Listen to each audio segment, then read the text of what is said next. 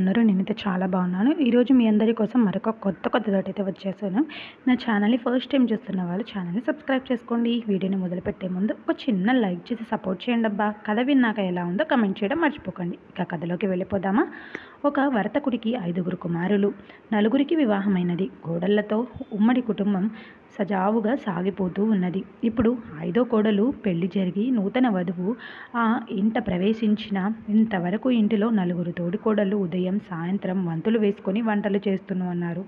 ఎవరైనా జబ్బు పడితే నా వంతు వచ్చినప్పుడు నీవు వంట చేయలేదు కదా. మరి నీ వంతు వచ్చినప్పుడు నేనెందుకు చేయాలి? ఇలాంటి చిన్న చిన్న తగాదాలు ఆ ఇంట్లో మామూలైపోయాయి.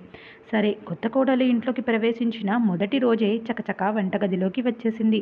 అత్త ఇక్కడ నలుగురు కోడళ్ళు ఉన్నారు. నేనిప్పుడే సారీ అండి నీవిప్పుడే వంటగదిలోకి రావద్దు అంటుంది. అప్పుడు చిన్న కోడలు అన్నది అత్తగారు ఆకలితో అతిథి ఇంటికి వస్తే మనం ఏం చేస్తున్నాము? శుభ్రంగా అన్నం పెడుతున్నాము కదా.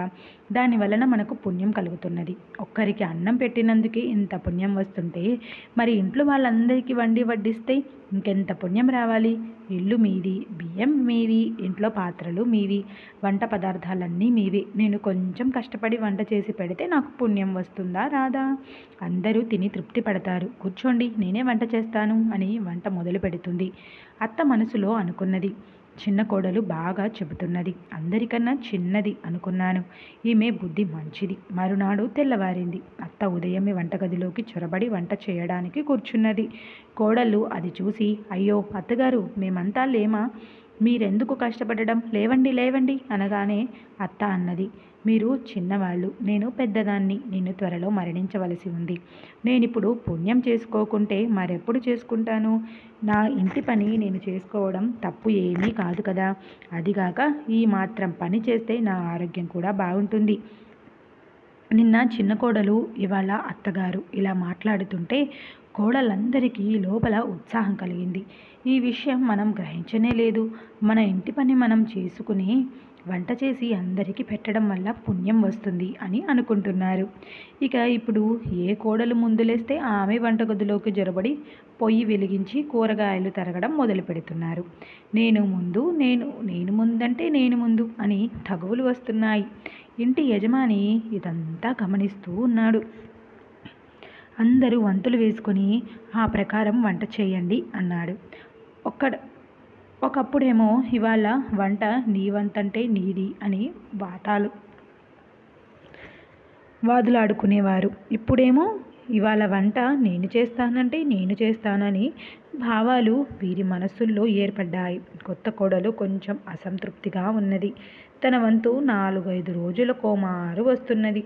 ఈ ఖాళీ సమయంలో ఏం చెయ్యను? అని ఆలోచిస్తూ ఉండగా ఆమె దృష్టి మూలనున్న తిరగలిపై పడింది. ఇంకో ఆలోచన వచ్చింది. మరునాడు తిరగలిని తన గదిలోకి మార్చుకొని పిండి విసరడం మొదలుపెట్టింది. అత్త ఇది గమనించింది. ఏమే చిన్న కోడలా? నీవు పిండెందుకు విసురుతున్నావు? మన దగ్గర డబ్బుకేమీ లోటు లేదు కదా? భగవంతుడు చాలానే ఇచ్చాడు అంటుంది. ఆమె ఇలా జవాబు చెప్పింది. అత్తయ్య మనకు డబ్బు చాలా ఉండవచ్చు కానీ నన్ను ఈ పని వద్దని మాత్రం చెప్పకండి. పిండి రోజువారి విసురుతూనే ఉంటాను. ఇలా చేతితో పిండి విసరడం వలన శరీరానికి మంచి వ్యాయామం కూడా దానంతటా అదే అవుతుంది. జబ్బులు రావు. పదే పదే డాక్టర్ దగ్గరికి వెళ్ళవలసిన అవసరం కూడా రాదు. అది కాక వంట చేసిన దానికంటే కూడా ఎక్కువ పుణ్యం ఈ పని వల్ల లభిస్తుంది. వంట ఎవరైనా చేస్తారు. పిండి మాత్రం నేను విసరనిదే అంతా తింటారు. అత్త నలుగురు కోడళ్ళు ఈ మాటలు శ్రద్ధగా విన్నారు. ఈమె సరిగానే చెప్తున్నది అనుకున్నారు. వారు తమ తమ భర్తలతో ఇంటికి తిరగలి కొని తెండి నేను రేపటి నుండి పిండి విసిరాలి అని చెప్పుకొని తిరగళ్ళు తెప్పించుకున్నారు. అందరూ రోజంతా రెండున్నర కేజీల దాకా పిండి విసురుతున్నారు. ఇంట్లో పిండి పేరుకుపోతుంది. వెంటనే కొత్త కొడలు పిండిని సంచుల్లో సర్ది దుకాణంలో పెట్టి అమ్మించేసింది. బాగా లాభం వచ్చింది. అందరికీ ఆనందమైంది. కొత్త కోడలు ఇంకా ఏం చేయాలి అని ఆలోచిస్తుంది.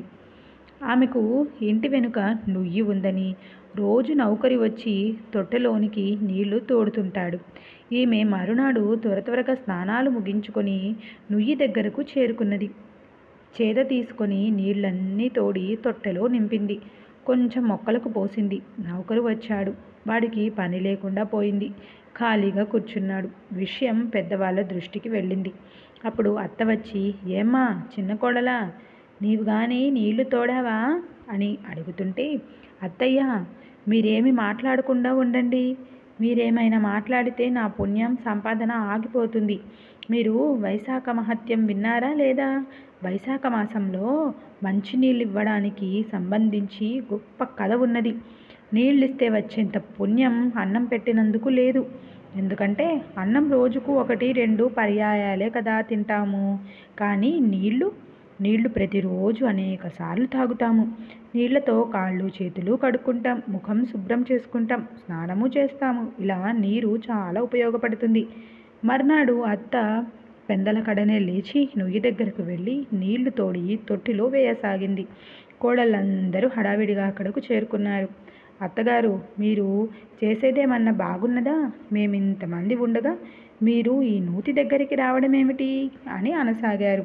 అప్పుడు అత్త మీరేమీ ప్రశ్నించకండి. నేను పెద్దదాన్ని అయ్యాను అందువల్ల తొందరగా పుణ్యం సంపాదించుకోవాలి. మీరైతే వెనుకనైనా చేసుకోవచ్చు. మరునాటి నుంచి కోడళ్ళు కూడా నూతి దగ్గరకు చేరి వంతులు వేసుకొని నీళ్ళు తోడసాగారు. నౌకరికి ఏం చేయాలో తోచలేదు. అమ్మా నాకు సెలవిప్పించండి అని వెనుతిరగ్గా చిన్న కోడలు అత్తగారితో ఇతడిని ఉద్యోగం మానిపించవద్దు. షాపులో వేరే పని అప్పగిద్దాం అన్నది. చిన్న కోడలి మంచితనం తెలుసుకున్న అత్త చాలా సంతోషించింది. చిన్న కోడలు ఇప్పుడు మళ్ళీ ఆలోచనలో పడింది. ఇంట్లో అందరూ వంటలు చేస్తున్నారు పిండి విసురుతున్నారు నీళ్ళు తోడుతున్నారు. ఇక నేనేం చేయాలి? ఒక నిర్ణయానికి వచ్చింది. తర్వాత రోజు ఉదయాన్నే వంటగది చేరుకొని అంట్లు ముందులేసుకొని బూడిద చేతిలోకి తీసుకొని మూల కూర్చున్నది. పని మనిషి అలాగే నిలబడిపోయింది. గబగబా అత్తగారు వచ్చింది. ఏమే నా ముద్దల కోడలా ఇది మాత్రం నీకు తగదు. మనకు పని చేసే వాళ్ళు ఉన్నారు అంట్లు తోమడం వల్లని బట్టలు ఖరాబవుతాయి నీ నగలు అరిగిపోతాయి అని సున్నితంగా మందలించింది. దానికి చిన్న కోడలు అత్తయ్య నన్ను కాసేపు మాట్లాడనివ్వకండి. ఎంగిల్లెత్తడంలో గొప్ప మహత్యము ఉన్నది. మీరు మహాభారతంలో కథ వినలేదా? పాండవులు రాజసూయాగం చేస్తూ శ్రీకృష్ణుడిని ప్రథమంగా పూజ చేసిన విషయం తెలుసు కదా. ఆ కృష్ణ భగవానుడే అక్కడ అందరి ఎంగిలి విస్తళ్ళు ఎత్తే పని చేశాడు తెలుసా? ఎంగిళ్ళెత్తటం అనేది ఎంత మహిమాన్వితం కాకపోతే భగవంతుడిని పనెందుకు చేస్తాడు? తర్వాత రోజు అత్త వచ్చి వంటింట్లో తిష్ట వేసి అంట్లు ముందేసుకుంది. ఈ వింత చూసి కోడళ్ళందరూ చుట్టుముట్టారు. వెంటనే చిన్న కోడలు అత్తయ్య సారీ అండి కొంచెము వాయిస్ డిస్టర్బెన్స్ ఉంది. కొంచెం కోల్డ్ తోటి అడ్జస్ట్ చేసుకోండి. వెంటనే చిన్న కోడలు అత్తయ్య ఇలా నా పని మీరు తీసుకోవడం సంసహజనం కాదు. ఇదిగో ఈ పళ్ళెం చిన్న గ్లాసుపై నాకే హక్కు ఉన్నది. ఎందుచేతనంటే ఇవి నా పతిదేవుడివి కనుక వీటిని నేను తోముతాను అంది. దానికి అత్తగారు వెళ్ళు వెళ్ళు వీడు ముందు నా కొడుకు తర్వాతనే నీకు భర్త అయ్యాడు. కాబట్టి వీటిని నేనే తోముతాను. ఈ విధంగా అని గబగబా అంట్లు తోమసాగింది. చూసి కోడళ్ళందరూ కూర్చొని వాళ్ళు అంట్లు కడగడం ప్రారంభించారు. ఈ విధంగా ఇంటి స్వభావం పూర్తిగా మారిపోయింది. అందరూ ఉదయాన్నే లేచి ఎవరి పనుల్లో వారు ముగిసి మునిగిపోతున్నారు. శుభ్రంగా గదులు తుడుచుకుంటున్నారు నీళ్ళు తోడుకుంటున్నారు అంట్లు శుభ్రపరుస్తున్నారు వంటలు వండుతున్నారు అంతా సవ్యంగా జరిగిపోతున్నాయి. కోడలందరూ అన్యోన్యంగా ఉంటున్నారు. అత్తామామలను గౌరవంగా చూసుకుంటున్నారు. దుబారా ఖర్చులు తగ్గిపోయాయి. యజమాని వ్యాపారంలో లాభం పెరిగింది. వెంటనే మామగారు కోడలందరికీ నగలు చేయించారు. ఒకరోజు చిన్న కోడలు తనకు మామగారు ఇచ్చిన నగలు తీసుకుని పెద్ద కోడలు ఉంటున్న గదిలోనికి వెళుతుండగా అత్త చూసింది. చిన్న కోడలు పెద్ద కోడలితో ఇలా అంటున్నది. అక్క మీకు ఆడపిల్లలున్నారు. వారు పెరుగుతున్నారు. రేపో మాపో వారికి పెళ్ళిళ్ళు చేయాలి. నాకైతే ఇంకా పిల్లలు లేరు. అందువల్ల ఈ నగలు నేనేం చేసుకోను? మా అమ్మ నాన్న నాకు నగలు బాగానే పెట్టారు. అవన్నీ నా దగ్గర ఇనపెట్టిలో పడి ఉన్నాయి. కాబట్టి ఈ నగలు నువ్వే తీసుకో. పిల్లల పెళ్ళిళ్ళకి అక్కడికి వస్తాయి అని ఆమె చేతిలో పెట్టింది. గుమ్మం బయట నుండి ఇదంతా గమనిస్తున్న అత్త ఒక్కసారిగా చలించిపోయింది. కథ చాలా బాగుంది కదండి. ఇలాంటి మరిన్ని కథలతోటి మేము ముందుకు ఎప్పుడు వస్తూనే ఉంటాను. నా ఛానల్ని సబ్స్క్రైబ్ చేసుకోండి. Thank you. Bye bye.